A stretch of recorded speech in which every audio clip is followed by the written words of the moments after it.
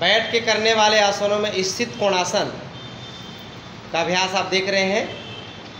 इस अभ्यास को कम से कम पाँच मिनट करना चाहिए और पाँच मिनट जब अभ्यास करेंगे आप तो पेट का मोटापा, बाँह का मोटापा, जांघों का मोटापा, पीठ की तरफ़ का मोटापा, गर्दन घुमाइएगा तो गर्दन का भी मोटापा, थायराइड की बीमारी धीरे धीरे दूर होगी। पाचन शक्ति मज़बूत होगा, भूख अच्छी लगेगी खाइएगा, पचेगा और शरीर में लगेगा। लगातार करते रहिए अभ्यास अंगूठा को भी छूना है बाबू। हाँ। अंगूठे को छूना है।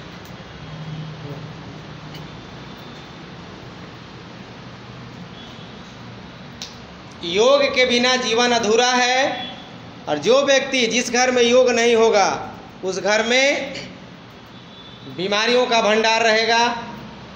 उस घर में अलमारी पर दवाखाना खुल जाएगा, दवाई भरा पड़ा रहेगा।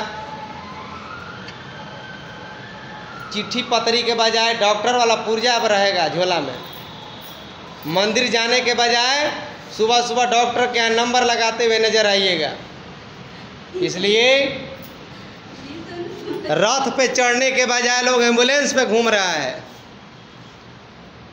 इसलिए इन सारे चीज़ों से बचने के लिए यदि बचना चाहते हैं तो सुबह सुबह योग करिए।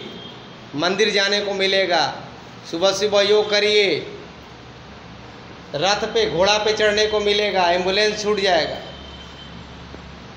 सुबह सुबह योग करिए। आपको रसगुल्ला खाने को मिलेगा। काला जामुन मिलेगा, क्योंकि शुगर हो जाएगी और रसगुल्ला रहते हुए नहीं खा पाइएगा। करीब है इस अभ्यास को अभी तो आप गिन भी रही थी क्या?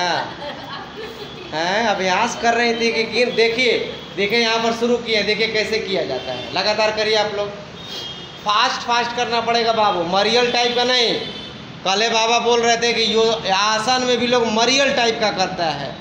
कूक कूक ए, ओह, करते हुए कर ऐसा नहीं करना है। समझिए कि आरती उतार रहे हैं माँ काली का, भगवती का, कृष्ण भगवान का, शंकर जी का। आरती उतारिए, आरती की थाल सजी है और ईश्वर का ध्यान करते हुए मन में गायत्री मंत्रों का ओंकार का जाप करते हुए अभ्यास करिए। बहुत सुंदर अभ्यास।